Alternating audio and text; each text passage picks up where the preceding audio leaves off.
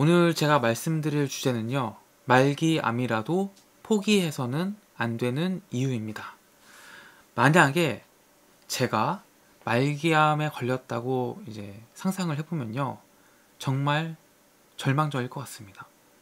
의사 선생님도 더 이상 이제 손 쓸 수가 없다고 얘기하고 또 이제 그 생존율이 굉장히 떨어지잖아요.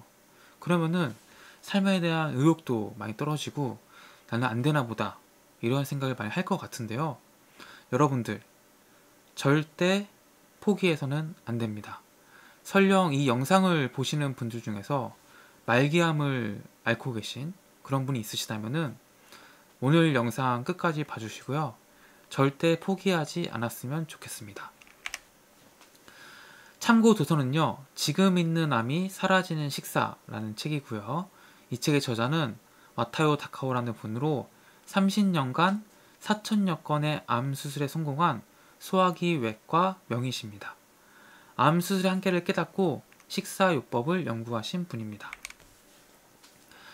일단 소화기 암의 진행 단계는 보통 0, 1, 2, 3, 4기로 나뉩니다. 연기는 암이 점막 안에 머물러 있는 시기입니다. 암이 점막 안에 머물러 있으면 이것을 연기라고 하는 거죠. 1기는 암이 소화관 내벽에 있지만 주변에는 아직 전이되지 않은 상태입니다.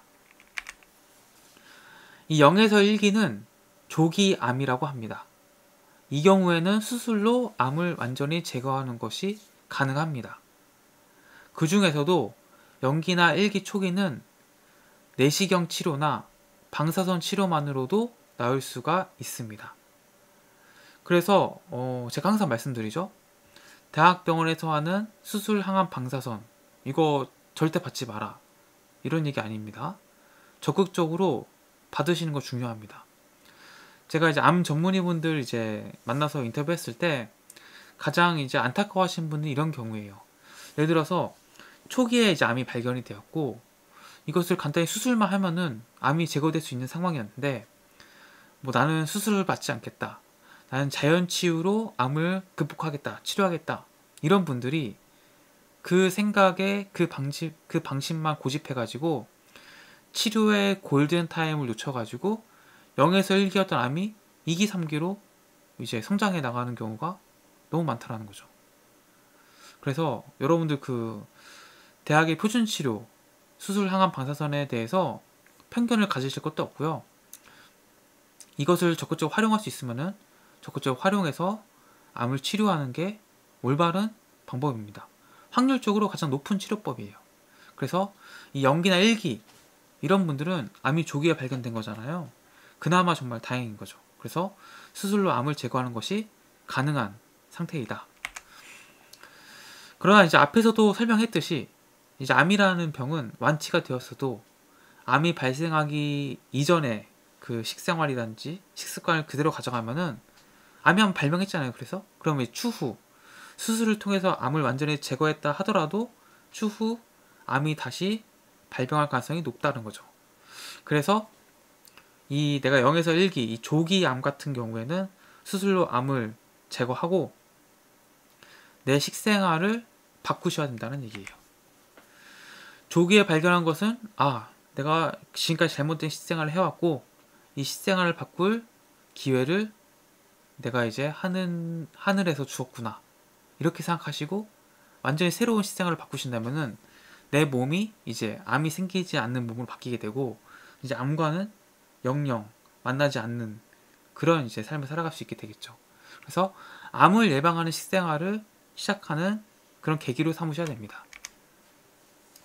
이기는 암이 주변에 가까운 림프절로 전이된 상태입니다.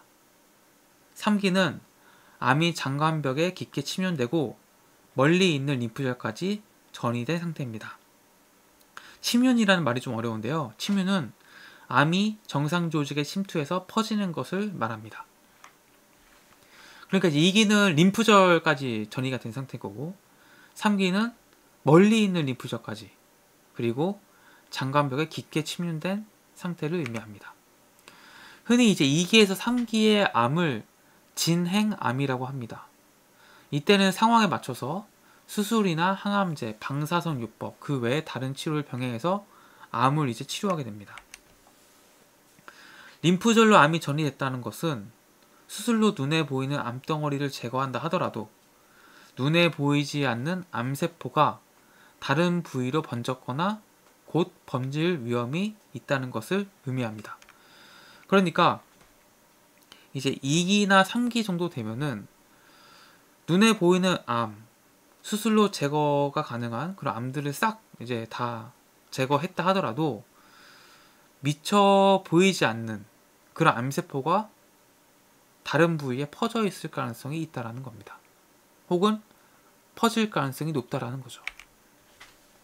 이 때문에 이제 항암제나 방사선 요법을 이제 실시하게 되는데 이때 식사요법을 병행하면 암이 생길 수밖에 없는 구조를 개선할 수 있습니다. 그러면 이제 치료 효과를 더욱 높여서 암이 전이하거나 재발하는 것을 막을 수 있게 되는 거죠.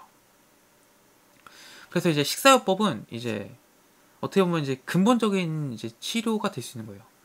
애초에 암이 생기지 않은 그 근본 그 원인을 가져가려고 하는 게 식사요법인 거죠. 일단 눈에 보이는 암은 표준 치료로 제거를 한다. 그리고 눈에 보이지 않는 암이라든지 암이 애초에 생길 수 없는 내 몸을 만드는 것은 식습관, 식생활이 중요하다는 겁니다. 사기에는 간이나 폐 등 소화기 외의 다른 장기로 암이 전이해서 종양을 완전히 적출하는 것이 불가능해진 상태를 의미합니다. 이렇게 되면 수술도 이제 부분적으로만 가능하고요. 방사선이나 항암제도 충분한 효과를 기대하기 어려워집니다. 그러니까 이제 수술, 항암, 방사선을 하더라도 암의 완전한 제거가 이제 거의 불가능한 어려워진 상태를 얘기하죠. 그럼 이때 결국 할 수 있는 거는 식사요법밖에 없는 겁니다. 그러니까 표준 치료가 이제 거의 어려워지니까 상대적으로 식사요법의 중요성이 높아지는 거죠. 이 경우에 식사요법을 철저히 지키신다면은 60에서 70%는 개선될 수 있다는 거예요. 그래서 포기하면 안 됩니다. 사기 중에서도 암이 상당히 진행된 상태를 이제 말기암이라고 합니다. 몇 개월밖에 살지 못한다던 말기암 환자가 식사요법으로 회복해서 건강하게 생활하는 모습을 실제로 이 책의 저자인 마테오 다커 박사는 많이 봐왔다고 합니다. 그러니까 이제 말기암 같은 경우에는 사기암도 그렇지만 수술, 항암, 방사선으로 완전히 암을 이제 치료하고 제거하는 게 불가능해진 상태잖아요. 그러니까 대학병원에서 해줄 수 있는 게 이제 한계에 다다르는 거예요. 그 전들은 이제 뭐 수술로 완전히 뭐 제거를 한다거나 항암이나 방사선을 통해서 좀 남아있는 암들 제거는 가능한데 이 사기암 말기암은 이런 이제 표준 치료 자체가 좀 어려워지는 상황에 내몰리는 거죠. 그러면은 어 대학병원에서 그 의사 선생님들은 더 이상 해줄 수 있는 게 없다라고 얘기할 수밖에 없는 거고 환자 입장에서는 대학병원에서 더 이상 치료가 어렵다고 해서 내 소중한 내 목숨, 내 인생을 포기하면 되겠습니까? 내가 할 수 있는 걸 다 해야 되겠죠. 그래서 식사요법. 그나마 할 수 있는 식사요법에 집중해야 한다라는 게 이 책의 저자의 이야기입니다. 실제로 그렇게 식사요법을 집중했을 때 몇 개월밖에 살지 못한다는 말기 암 환자분들이 회복해서 치료가 되는 경우도 많이 봐왔다는 겁니다. 그래서 절대 포기하지 말고 대학병원에서 안 된다고 해서 그 환자들이 모두 안 좋은 결과를 맞이했느냐? 그렇지 않다. 실제로 치유가 된 사례들이 있다. 그럼 우리는 대학병원 의사가 안 된다고 할지 몰라도 우리 어떻게든 살아, 살아야 되잖아요. 그러니까 할 수 있는 걸 다 해야 되는 거고 절대 포기하지 말고 식사요법을 시작해 봤으면 한다라는 거예요. 이제 암의 단계별 5년 생존율을 제가 가져와 봤는데요. 1기 때는 굉장히 뭐 생존율이 높습니다. 뭐 80% 90%도 있고요. 유방 같은 경우에는 96%입니다. 근데 이제 점점 기수가 뒤로 갈수록 4기로 갈수록 생존율이 급격히 떨어지게 되죠.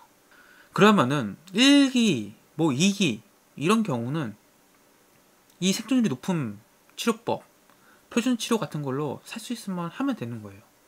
문제는 그 방법들이 안 되는 경우인데 그때 포기하지 말고 식사요법을 진짜 진지하고 철저하게 해보자라는 겁니다. 그래서 말기암이라고 해서 다 안 되는 것 아니고 식사요법을 통해 충분히 치료되는 경우가 많이 나타나고 있습니다. 우리의 생명, 여러분들의 생명은 소중하니까 절대 포기해서는 안 되고요. 어, 철저하게 한번 해보시는 겁니다. 그럼 어떻게 식사법을 하느냐? 그건 이제 다 제가 다음 영상부터 구체적으로 하나하나 짚어드리겠습니다. 그래서 저와 함께 공부하면서 음, 암에 걸리지 않으신 분들은 암이 내 몸에 절대 뿌리내지 못하도록 철저하게 올바른 식생활을 정립하시고 이미 암이 내 몸에 뿌리를 내렸다. 이렇다면은 이 암이 사라질 수 있도록 같이 공부해 가면서 나아갔으면 좋겠습니다. 오늘 영상이 도움이 되셨다면 구독과 좋아요 눌러주시면 감사하겠습니다. 고맙습니다.